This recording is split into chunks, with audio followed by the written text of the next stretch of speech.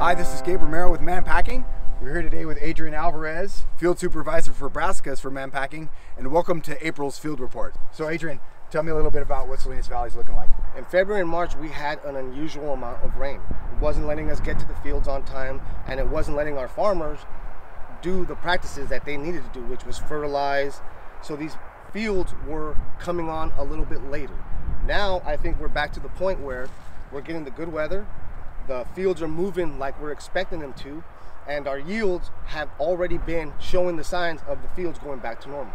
Looking out the next 10 days, the rain does look like it's going to come into the forecast. Give me a little insight on that. Fields are bogged down with too much water. Soggy conditions are going to make the machines dig down a little bit deeper.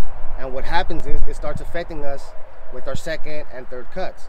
So what we're doing is we're forced to kind of play the wait game and go into other cuts where we know we're not going to be risking the entire field by going into it when it's wet. Well, now these plants are able to be fed and we're seeing the results in the length and the size and the girth of the plant and these plants are a lot healthier they're a lot taller and they're producing more shoots the little water that we get it's a little bit of a sprinkle which actually does the opposite effect of getting too much water it's helping our yields we're able to go in the fields on time and the cuts that we're in are producing what they normally produce because we have the weather that we're used to having up in the Salinas Valley. So as we enter the Salinas season, broccoli and cauliflower and broccolini supplies look to remain steady, although any implicant weather can change that at any point in time.